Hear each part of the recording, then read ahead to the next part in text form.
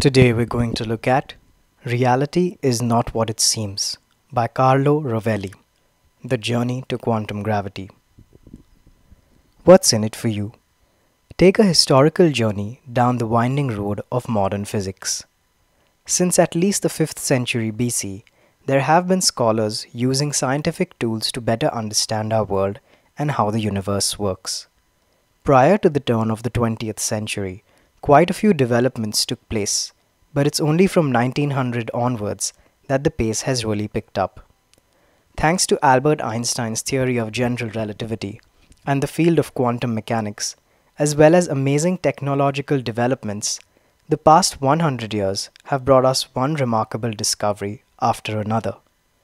The following minutes will be both a helpful catalogue of the biggest revelations as well as a handy report card on where we now stand and the mysteries that still keep physicists up at night. In the following minutes, you'll find which ancient Greek had some prescient ideas about atoms, how the two pillars of modern science are in conflict, and which grains make up the space around you according to quantum gravity. Idea number one Modern science began with the scholars of ancient Greece and the experiments of the late Middle Ages. For thousands of years following the first human civilizations, our ancestors explained everyday natural occurrences by invoking things like supernatural spirits and deities.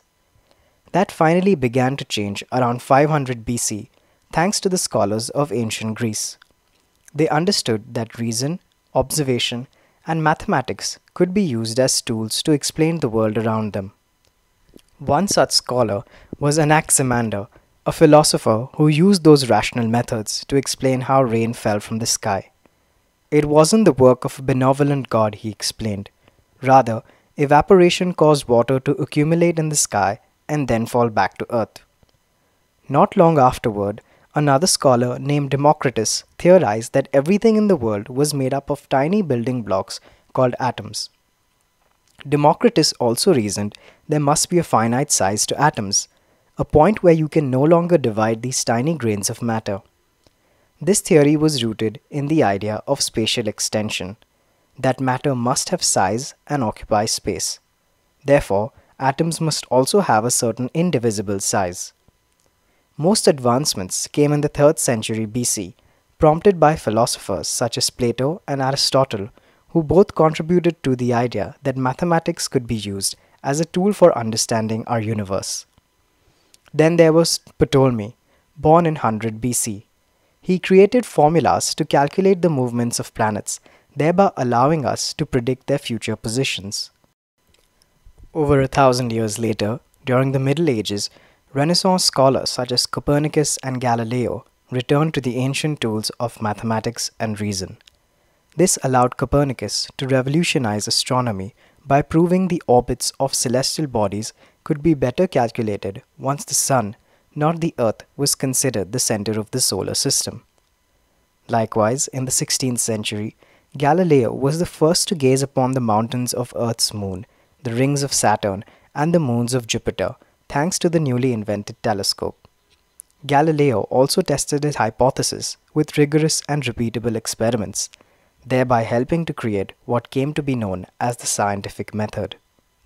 One such hypothesis was the belief that all objects fall at a constant speed.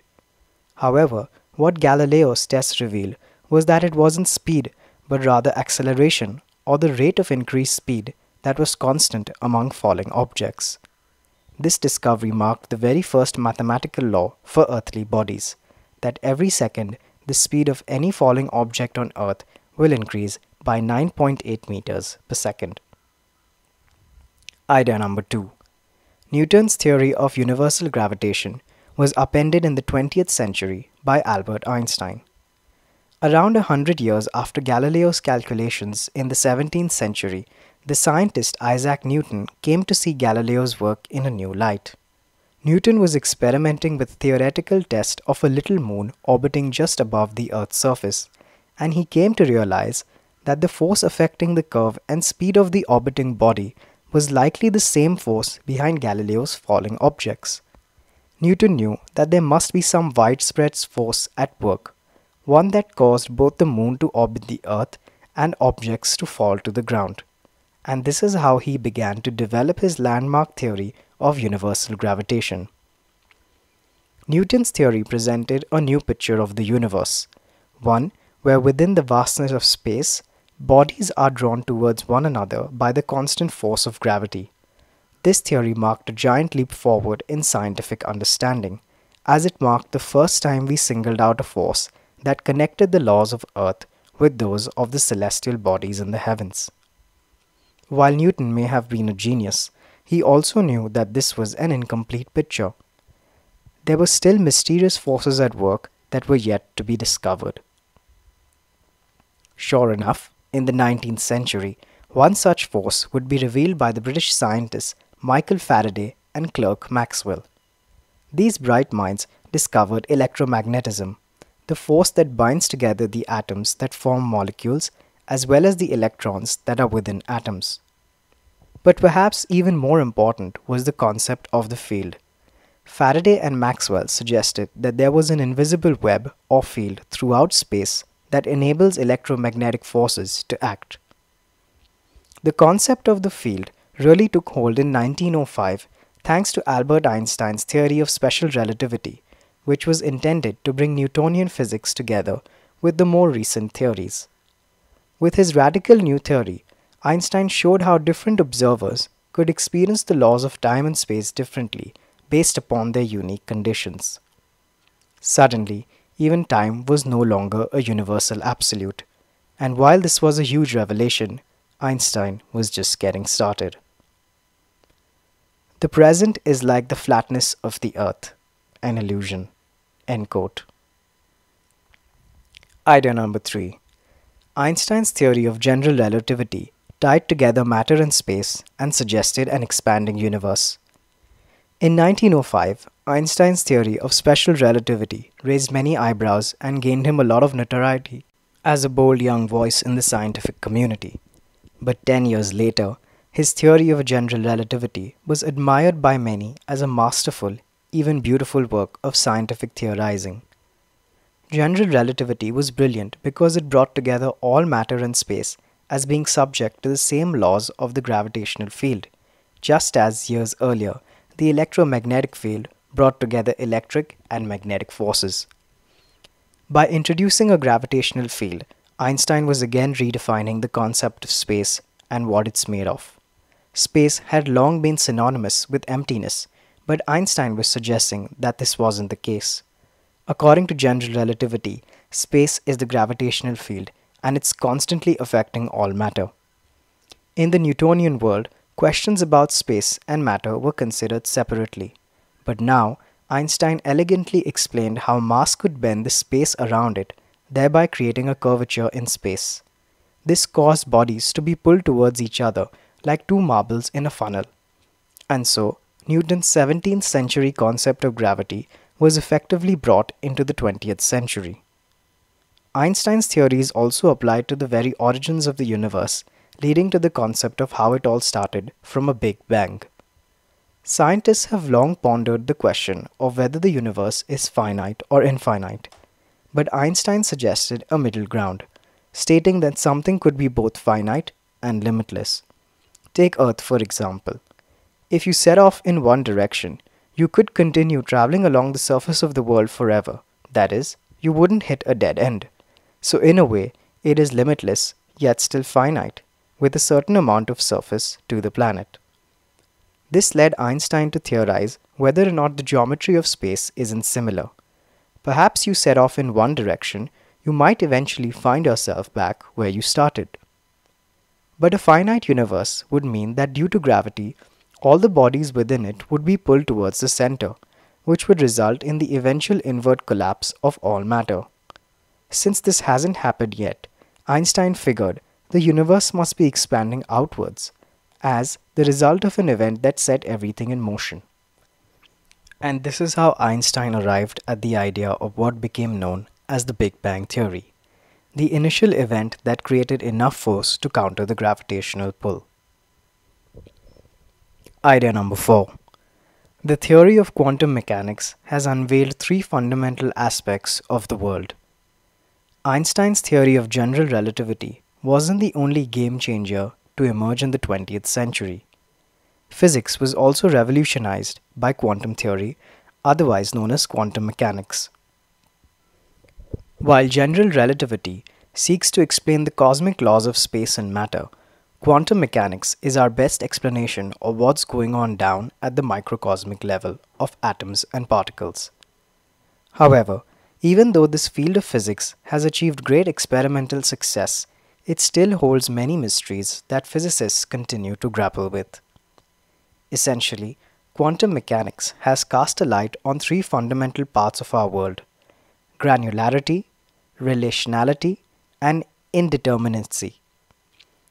It all began back in 1900 when German physicist Max Planck started calculating the energy in electrical fields. To make things a little easier for himself, Planck took a mathematical shortcut and assumed that all energy in the field was distributed in small packets. He called them quanta rather than at a continuous rate as was generally assumed. Much to Planck's surprise, his calculations were spot on. It soon became clear that quanta were more than just mathematical trickery. In 1905, Einstein realized that light was also made up of similar small packets. A few years after that, Danish physicist Niels Bohr found that an atom's electrons can only have particular amounts of energy as opposed to the continuous spectrum of energy that had been assumed. So what Planck, Einstein and Bohr had all discovered is the fundamental theory behind quantum mechanics, which is that the universe is granular, since both energy and light are made up of tiny, finite packets. The next fundamental aspect of quantum mechanics is that the world is relational, which is, which is a discovery attributed to the German physicist Werner Heisenberg. In the 1920s, Heisenberg found that electrons don't always have a precise position in space, thereby upending another commonly held belief among physicists. Instead, Heisenberg found that an electron's position can only be determined if it is interacting with something else. Taken a step further, this also means that an electron can only exist based on its relation to another object. This leads us to the third aspect of quantum mechanics indeterminacy. As the name suggests, indeterminacy means there's only a probability and never a certainty with which we can predict physical events, such as the position of an electron. Such is the unusual world of the subatomic environment. Light falls on a surface like a gentle hail shower. End quote. Idea number 5. The theory of quantum gravity raises doubts about the common notions of space and time. Today, there's a paradox facing modern physics the two pillars of 20th century physics, the theories of general relativity and quantum mechanics, are at odds with one another. To begin with, according to general relativity, space is curved and everything is continuous. But in the world of quantum mechanics, space is flat and everything is granular and comes in tiny packets. Understandably, physicists are eager to reconcile these differences and to find a theory that can somehow bring these two worlds together and this is precisely what the modern field of quantum gravity aims to do. Basically, quantum gravity makes two fundamental claims. The first is that space is not continuous, but rather also granular. This brings us back to Democritus and the question of what can or cannot be infinitely divisible at the atomic level. According to quantum gravity and the Soviet physicist Matvei Bronstein, space is not infinitely divisible, just as Democritus had theorized about matter and atoms. While Bronstein developed his theory back in the 1930s, subsequent research has indeed supported his claim by suggesting that the smallest size space can be divided to is 10 raised to the power 33 centimeters. This measurement even has a name, the Planck length, and it's a billion times smaller than the nucleus of an atom. Since space is turning out to be more like matter than we previously thought, other names like the atoms of space or quanta of space have come to refer to its granular nature. The other fundamental claim of quantum gravity concerns our very basic notions of time. Over a century ago, Einstein's theory of special relativity disabused us of the notion that we're all subject to a great cosmic clock. The fact is, in some places in the universe, time passes slower or quicker than in others. For example, the higher up you are, the faster time will run. If you place one clock on a table and another on the floor, the one closer to the earth will run slightly slower. Since time is no longer universal and reliable scientific measurement, modern physicists, including those in the field of quantum gravity, no longer use it in their fundamental equations. So it's not only safe to say that events no longer happen in time, you could even say that time doesn't exist in modern physics. Space appears continuous to us only because we cannot perceive the extremely small scale of these individual quanta of space. End quote. Final summary. The key message in this book is The study of physics has come a long way. The scholars of ancient Greece were the first to use reason, and then in the Middle Ages, the scientific method was developed with the use of rigorous and repeatable experimentation. From this tradition, Newton developed a theory of the world where time and space were absolute. But the Newtonian tradition was eventually turned on its head in the 20th century with Einstein's theory of general relativity coupled with quantum mechanics. Today, physicists aim to reconcile the differences of general relativity and quantum mechanics, and as a result, they've opened up a wondrous world where time is relative, space is granular, and electrons may both exist and yet not exist. This is the end. Thank you.